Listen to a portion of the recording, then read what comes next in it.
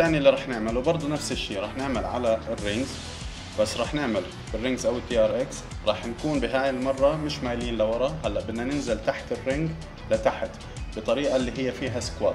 هلأ ما بدي أستعمل رجلي بدي أحاول إني أستعمل بس الظهر وبس الإيدين في هذا يعني بس أستعمل ظهري في هذا التمرين وما أسحب وأنزل بطريقة بطيئة. فراح انزل زي ما ملاحظين السرعة بالفيديو. عمالي بنزل شوي شوي وبطلع بالراحة.